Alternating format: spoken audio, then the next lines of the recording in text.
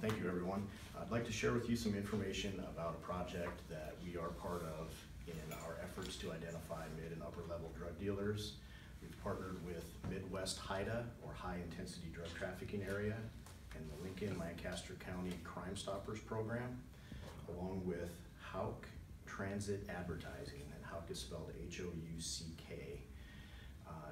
The project kind of got started back in November, attending some conferences and uh, being informed that there were some grant monies available for projects similar to this one, in that we partner with an advertising agency, try to share the message about how to report drug crimes, and partner with Lincoln Lancaster County Crime Stoppers Program to see if we have an increase in tips or the quality of tips. So Midwest HIDTA funded a several thousand dollar advertising project through Houck Transit Advertising in Minnesota and helped us prepare and design the uh, advertising that we'll share photos of you with regarding know a drug dealer, report them anonymously. And the advertising is located inside all fifty-five StarTran buses